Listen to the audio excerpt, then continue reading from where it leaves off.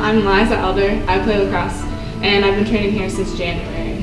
Um, three times per week in season and then four to five uh, times per week out of season. I begged my dad to take me here and then when I walked in I was really impacted by all the people in here and everyone seemed like they were having a great time while getting better so I knew I wanted to start right away. I was a little intimidated at first but then once I started training here I realized that everyone was awesome and really encouraging wanted to help me get better.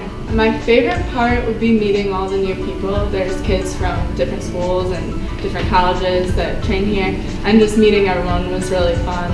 Um, it's kind of a family feel. And then the coaches were also fun to work with and they pushed me every day and always encouraged me to be the best I could be.